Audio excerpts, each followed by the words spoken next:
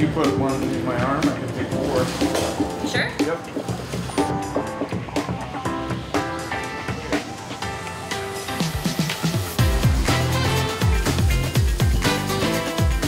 Thank you. Thank you. I'm coming to have a little donut and a little coffee and camaraderie and cornhole here. Well, my competition must be uh, detective over there, and he's pretty good. Tell you the truth, I mean, you know, he's he's ahead of me right now. I say nice to meet you. Nice to meet you. There's some more firefighters over there too. Did you meet the police already too? Yeah. Yeah, they're cool too.